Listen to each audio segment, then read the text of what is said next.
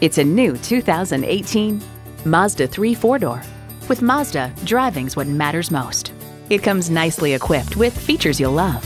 Streaming audio, doors and push-button start proximity key, dual zone climate control, smartphone wireless charging, front heated bucket seats, inline four-cylinder engine, aluminum wheels, gas pressurized shocks, and power heated mirrors.